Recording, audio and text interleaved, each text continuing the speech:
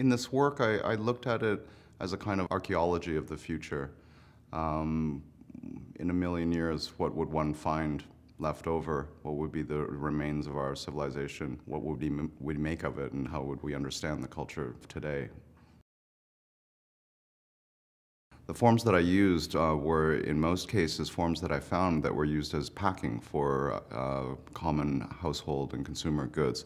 So in a way, these forms are the leftovers or the traces of our materials of everyday life today.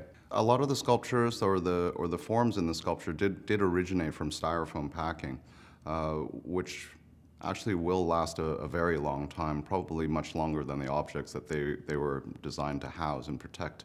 Um, and by transforming uh, these shapes into ceramic and bronze and other traditional, quite durable materials, I'm kind of trading one form of permanence for, for another.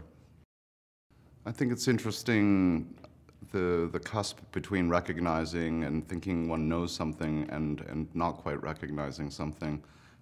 I like the idea that when a visitor comes upon my work that it makes them wonder the origin of the forms in the work, just like I do when I'm making it.